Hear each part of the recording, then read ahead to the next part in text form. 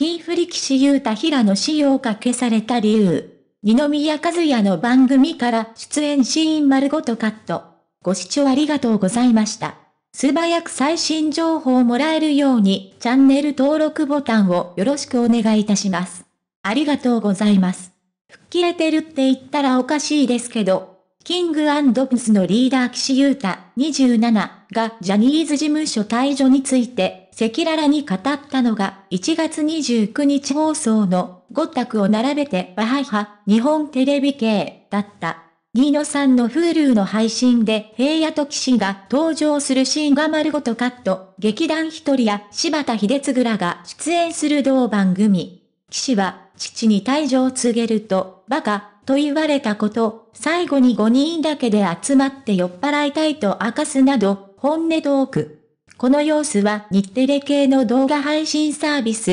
Hulu でも流れた。だが1週間前の22日、ジャニーズ事務所の先輩、二宮和也や菊池風磨がマックを務めている、同じ日テレのバラエティ番組、ニノさんでは、不思議なことが。この日の放送は、これまでのゲストとの生面を振り返る総集編。地上並みでは平野仕様26が合気道を体験した場面や、騎士が自宅で料理をする場面が流れた。だが Hulu の配信では、二人が登場するシーンが丸ごとカットされていたのだ。SNS では事務所の圧力を疑う声も、驚いたのはゲストごとのな場面が画面上に4分割されて表示された際のこと。地上並みでは平野が映っていた箇所が、Hulu では、権利上の都合で配信できません。ブラックエットというテロップとともに黒塗りにされるというような画面になっていたのである。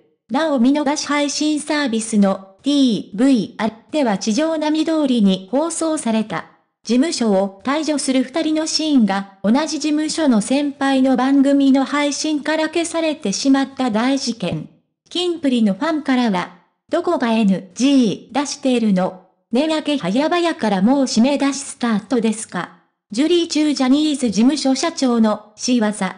と圧力を疑う声まで SNS 上で上がった。Hulu 側のリスク管理か、実際はどうか。ある事務所関係者はこう推測する。出演交渉の段階で局側から配信でも流れますか大丈夫ですかと確認されます。TV アロボ放送後1週間で配信が終わりますが、Hulu は彼らの退場後も残る。ジャニーズとしては、辞めたタレントと二宮が一緒に映っているのが残るのは嫌だ、ということもあるのではないでしょうか。一方、バラエティ番組のベテランプロデューサーは、Hulu 側のリスク管理では、と語る。地上並みの内容をそのまま配信した場合退場後に二人から配信は止めてと言われる可能性がある。そのリスクを考え、Hulu 側があらかじめ出演箇所をカットしたのではないでしょうか。業界のルールとして所属していた事務所が OK と言えば使っていいことになっていますが、それとは別に本人が嫌と言えば使いづらいのは確かなので、ジャニーズ事務所の回答は